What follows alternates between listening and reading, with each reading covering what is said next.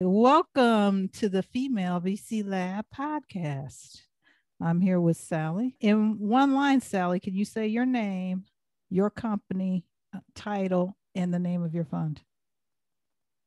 Yes, my name is Sallie Jian, and I work at SAP.iO, which is the corporate venture arm of SAP. And I am the head of SAP.iO is the New York program and we are focused on enterprise software strategic to our parent company SAP. Wonderful. Wow, this is this is going to be a fascinating conversation. This is great. So Sallie, what inspired you to become a venture capitalist or an investor? Yes, so as we both graduated from Berkeley, so yes, go Bears did. and lucky to have been born out of the Silicon Valley kind of era there, going to school in Northern California. And my first job out of college was in investment banking at Morgan Stanley. I was in the TMT group right on Sand Hill Road. So I got early exposure to technology in my career. And I was absolutely in love with the companies and the sub verticals within tech. I covered blue chip public companies as well as private late stage companies. And I knew that I was more interested on the earlier side of tech. And I knew that I loved sitting in meetings with the senior bankers and the management teams and talking about trends and talking about the business models, working closer with the founders and their teams. And so from Morgan Stanley and Silicon Valley, I moved to New York and I joined another firm that was also really tech investment oriented called General Atlantic. And I did this sort of financial services two plus two type of programs. And I decided I wanted to get gain some experience as an operator. So I did work at two startups before I really do- dove into venture capital. And working at startups really helps in terms of opening your eyes to what it's like to be part of a fa- founding 100%. team. Yeah, right. And to be really on the ground doing everything, literally, uh, no matter what your title is. And from there, switched over to venture capital because I knew that I loved the startup world and I also loved learning about many different businesses and I was at SeedInvest, which we spoke about briefly. I ran mm-hmm. the venture capital team there while I was at SeedInvest, and that's equity crowdfunding model plus a fund as well. And after that, I joined SAP.iO, which I've been there for three years now, running our New York mm-hmm. SAP.iO program. And I get to work with incredible entrepreneurs and I get to sit with them as an advisor. I get to help them. I get to make introductions. I get to leverage resources and my network to really help them succeed however I can in my role now. And what's also really cool about SAP.iO is we have this pledge called No Boundaries that was launched about two years ago. Mm-hmm. And that pledge is a commitment by SAP to have 40% underrepresented founders in our SAP.iO fund and foundries portfolio. Oh, wow. And that's um, great. yes, yeah, I'm really proud to say we're already there. Oh, and wonderful. that, yeah, and that initiative was to have 200 underrepresented led stars by 2023, but we are already at that 40, actually 50% mark, and we continue to strive for more. And in New York specifically, I work with pretty much 100% under uh, represented led founders. That's wonderful. So, what is SAP.iO's kind of investment thesis? How do you guys go through? Uh, what's your criterion, and and how do you determine what kind of companies you're working with? Yeah, so we have our fund and we have our foundries. Our fund has been focused on pre-seed and seed primarily in the past. Mm-hmm. We write small checks of 250K co investing to start with, with ability to follow on.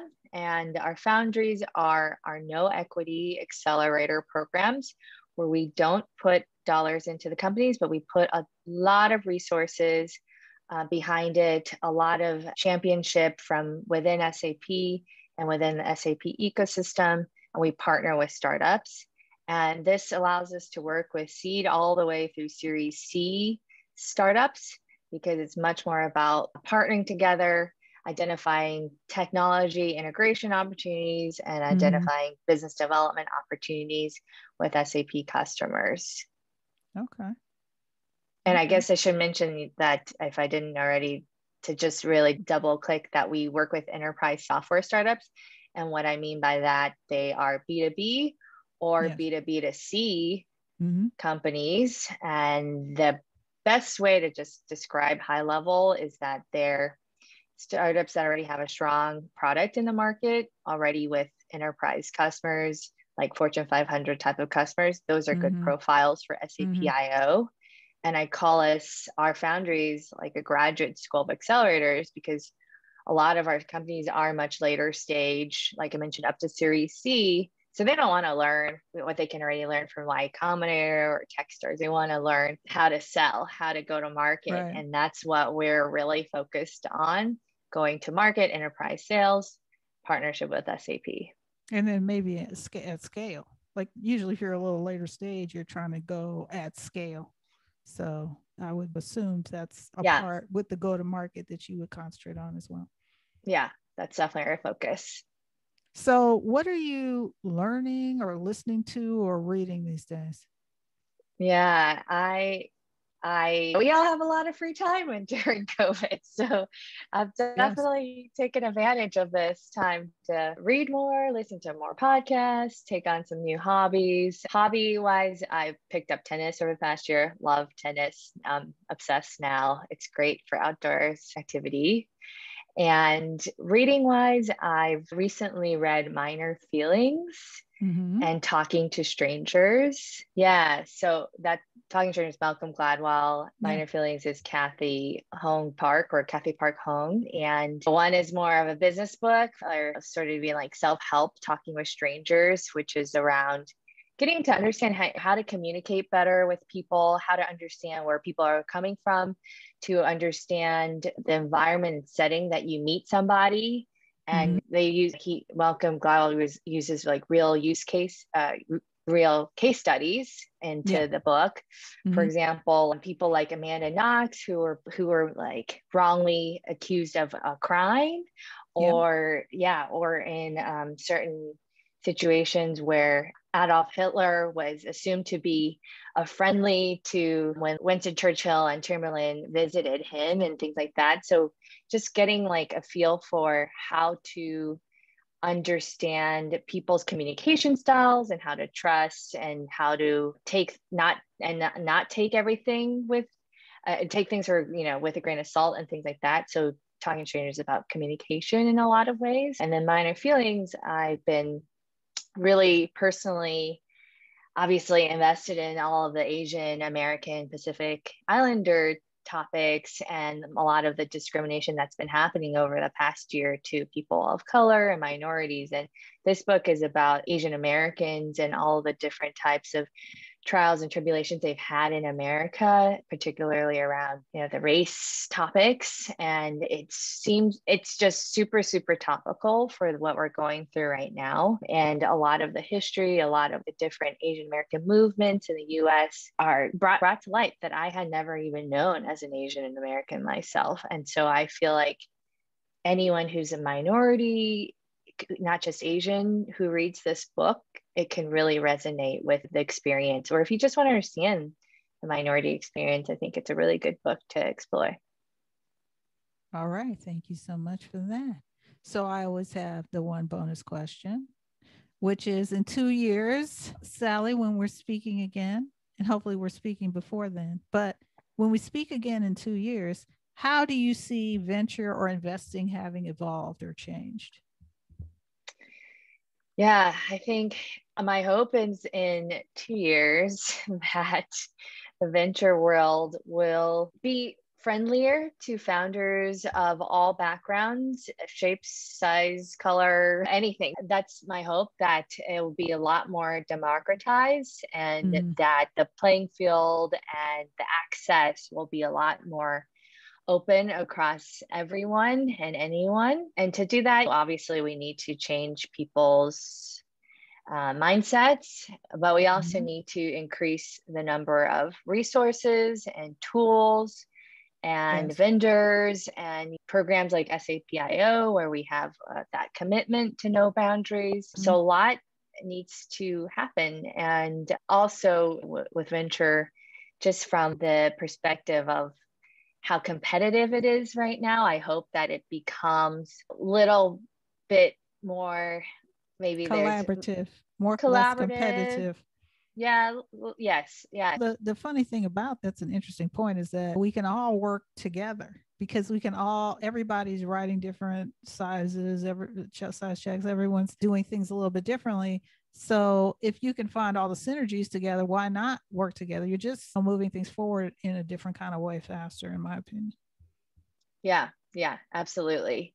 But also just make like for example, the valuations and specifically Silicon Valley are in, insane, right? Some of the Very, private yes. market valuations are higher than public market, and so and so qu- quantitatively also a just fairer market. I hope for that in, in two years as well. As history has shown us, the the keeps going the stick is like a hockey stick rather than leveling a, down a slow yeah. Uh, the the normal slope kind of slope mm-hmm. curve exactly so those are well, kind of my two hopes it'll be it'll be interesting because i think I, I, I like that second point i think a lot of people don't talk about that as far as value there's a value of being in silicon valley there's a value of being not in silicon valley and yes, the values are different, but are they that different?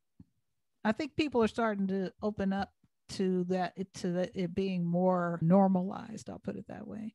Um, more evenly done because now you're not at that advantage of okay now i'm in silicon valley. A lot of people have left silicon valley. A lot of people are starting funds outside of silicon valley. So yeah. if you think about SPAC. that yeah spacs is like a whole nother like that's a whole nother conversation. But the thing about it is that there's like more pools of money other places now. And just to think like you have that one centric centric view of okay we're just in the silicon valley life and everybody has to deal with it that way is I think that's fading a little bit. Yeah, yeah, totally. And I want that to expand outside of the markets that have been the core markets in the past so that everyone gets a chance. Yeah, good companies everywhere. exactly. Isn't that the purpose of investing? You're supposed to be finding good companies. yeah, find the gems. Exactly. I mean, Every, you know, everywhere. They could, yeah. they could be anywhere. Gems could be anywhere. Totally. It's all good. All right, Sallie Jian from SAP.iO, thank you so much for being on the Female VC Lab podcast today. And thank you so much, Barbara. All right, you have a great day. Thank you.